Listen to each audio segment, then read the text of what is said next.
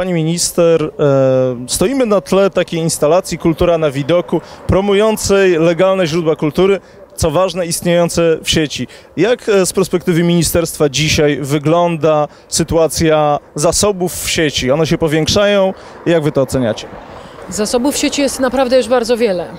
My mówimy oczywiście o liczbach około, bo z każdego dnia zmienia się ta dokładna e, enumeracja tego, co się udało zdigitalizować, ale mówimy o około 18 milionach skanów, które w tej chwili są już wykonane, a 14,5 miliona jest dostępnych w sieci. To literatura dostępna przez Polonę, to także nagrania koncertów, spektakli teatralnych, wiele filmów dostępnych w Narodowym Instytucie Audiowizualnym, to wreszcie potężne zasoby dostępne już także zdigitalizowane e, w zasobach archiwalnych. Myślę, że to jest proces, który ma w tej chwili już ogromną dynamikę i najbliższe lata przyniosą kolejne miliony zapisów, które powinny się przyczynić do tego, że legalnej kultury w sieci będzie coraz więcej. E, oczywiście e, ta kultura archiwalna ma e, trochę mniejsze problemy z czymś, co e, zwykliśmy nazywać piractwem. Największe z nim oczywiście ta kultura komercyjna, ale czy e, w tej sytuacji e, wi widać jakiś progres, zmianę mentalności użytkowników, czy też po prostu coś, co wpływa na to, że jest lepiej, a może nie jest lepiej?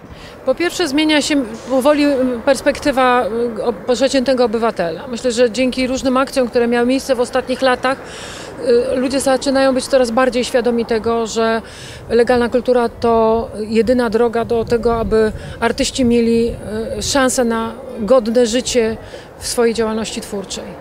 Y, nie da się mieć za darmo wszystkiego, jeżeli na początku ma być artysta, który poświęca swoje życie na to, żeby stworzyć tą wartość dodaną w kulturze. On musi z czegoś żyć i nie ma tu erzacu.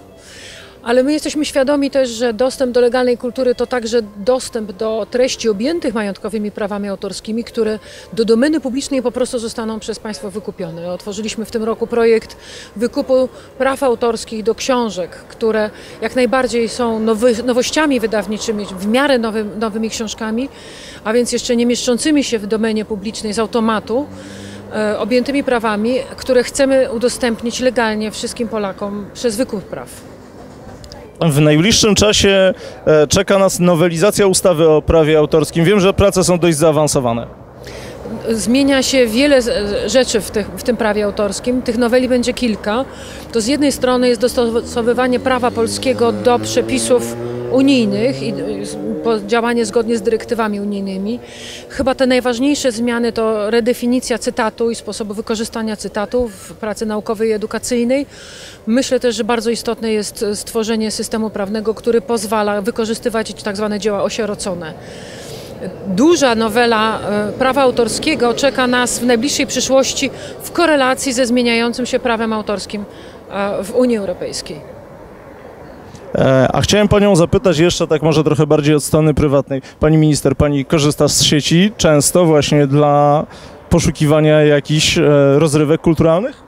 W sieci, z sieci nie sposób już w dzisiejszym życiu zrezygnować, tak mi się przynajmniej wydaje. Powiedziałabym, że jest to codzienne narzędzie użytku w mojej praktyce zawodowej. A ma Pani jakieś ulubione, czy to miejsca, które odwiedza, czy też filmy, książki, z których właśnie korzysta w sposób już cyfrowy, a nie analogowy? No ja przede wszystkim jestem klientem kupującym w sieci literaturę. Od mniej więcej dwóch lat właściwie czytam książki tylko z narzędzi elektronicznych. Jestem w związku z tym stałym klientem e, księgarni internetowych, które zaopatrują mnie w mobilne wersje książek.